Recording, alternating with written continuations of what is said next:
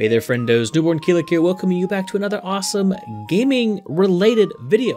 Today, we're going to be coaxing in, inviting, practically shoving the spooky ghosts into our Majora's Mask, totally on the Nintendo 64, definitely not emulated for the purpose of this video.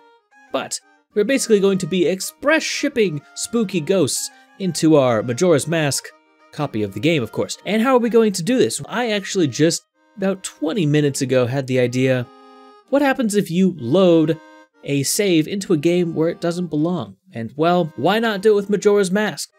So what we're doing here is we're loading in a save file of Ocarina of Time into Majora's Mask. My thought is that they're somewhat similar, and maybe we'll get like a little bit of glitchiness. As it turns out, things were a little bit crazier than I thought. Anyway, let's start off the video. Get your spooky ghost hats ready. Get your oof goggles on. Watch the noise level. I'm gonna warn you that right now. Now I will be editing editing it in post for something a little bit more tolerable. But just know this was roughly 30 minutes of my life. Um, I'm pretty sure I have ear cancer now. Pretty sure this gave me ear cancer. Damn. Anyway, let's get started.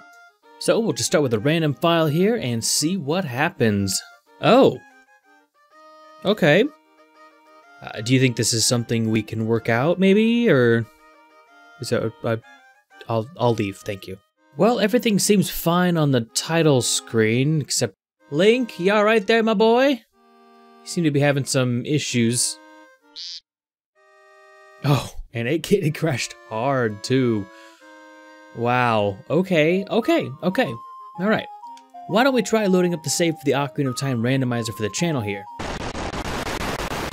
Oh, it's wonderful! I, I meant to roll off, but okay. That's probably fine. Oh, I actually got out of it. Okay.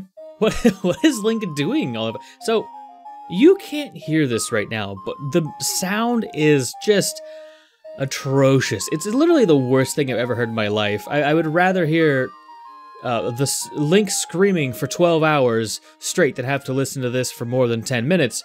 Oh, also, charge up a spin attack crashes the game. The more you know.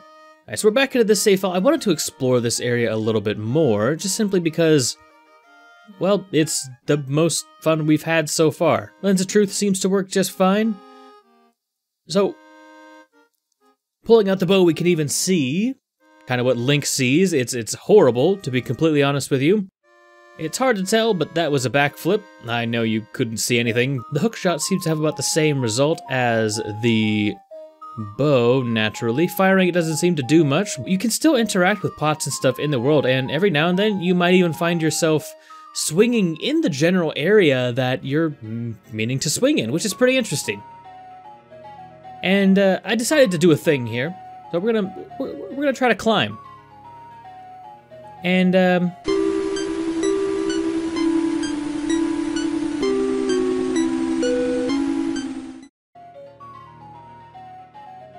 Did you? That was that was con very concerning. Blink actually made this face. The spooky ghost seems to have infiltrated already. Why don't we head back into that save file? Again, seeming to be the most fun we've had so far. Don't open the pause menu. Okay, so what about a door? Maybe we can enter through a door? That's gonna be a negative, all right. I kinda wanna see if we can access the main menu on this file here, which we cannot, unfortunately. That's a screen you can show. Uh, what is even going on here? There's so many pixels and colors. It's kind of pretty in like a weird way, but honestly, that's not even that bad of a crash. I was able to just reset the system and everything's fine. Ah yes, we must use the save file from our adventure into the Forest Temple, and we've managed to crash the game already. Uh, yet again, here we are with this beautiful screen.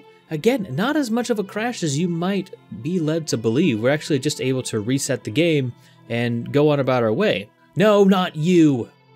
Back to the Forest Temple. Okay, so, bombs crash the game, which I find kind of interesting. There are bombs in Majora's Mask, so I would guess that the coding would be relatively the same. I don't understand why bombs would crash it. Maybe bombs as a child wouldn't? I honestly don't know. So I want to keep probing that file just to see what we can get ourselves into. How about we try the ocarina? Okay, it's function, well, fun as functional as that is, I suppose. But the ocarina is functional. As you might expect, leaving the area, per the usual, doesn't really work out for us. So why don't we try a song that's in both Ocarina of Time and Majora's Mask? What? And Epona's song crashes the game. Who would have thought it could handle Zelda's Lullaby, a song that's not even in Majora's Mask, but Epona's song, which is in both games, crashes the game. I, I have no words honestly. I'm a problem. Ugh, right. You know, the save file that we put right in right right during the Ganon fight. Everyone has one of them. All right, you don't tell me that you don't have a, a save file that's mid Ganon combat. You know, I got a curious. Why don't we try some games that aren't Zelda? You know, because uh, why not? Mario, you look beautiful. Is it egg form? You know, in classic form. I, oh, well. Mario's been working on some moves, I suppose. Let's find ourselves a star here. Beautiful. Collecting a star crashes the game. Uh, and if you try to reset, it crashes. Oh. Oh. Oh. Oh, it crashes real hard. That's not great. Upon booting up the Super Mario 64 save yet again, I was greeted by the exact same music. Who'da thunk it? However, this time, ledge grabbing just soft locks you. Because why wouldn't it? Anything can happen, okay? This is the wild west of modding, if you can even call it that. But yes, we are stuck here for assumedly ever, or until that happens. That's probably fine. Let's go. I do find it interesting. Usually when we enter a new area, it uh, things go on the fritz. Well, okay, I'm done. And with that, we have invited many, many a spooky ghost into our Majora's Mask ROM here. Now hopefully, I didn't corrupt any of my save files. I didn't really think about that before I started doing this, but hey, consequences will be consequences, and uh, you know, I don't care about the consequence.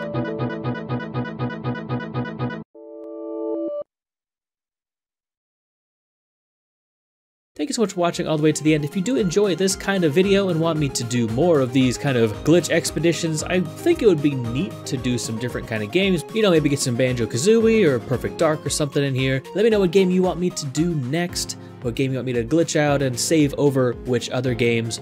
Anyway, I'm Newborn Kilik, and I will see you in the next one. I'm out.